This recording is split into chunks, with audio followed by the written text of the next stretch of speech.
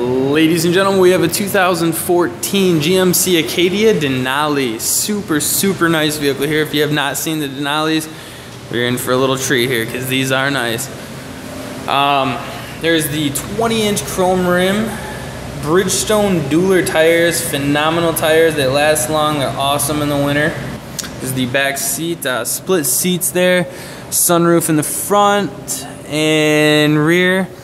Um, third row seating, very roomy, also very sporty front uh, interior as well, and uh, rear climate control too.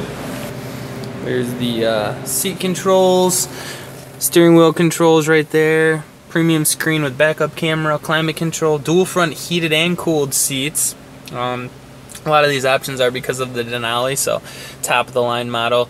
Um, there's the tab shifter OnStar ready. It also has uh, Bose enabled stereo system, power windows, locks, and mirrors. There's the engine bay, a 3.6 liter VVT direct port injection engine.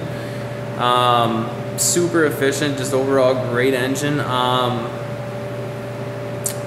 very efficient and um, good at gas mileage as well. So there you have it, the 2014 GMC Acadia Denali.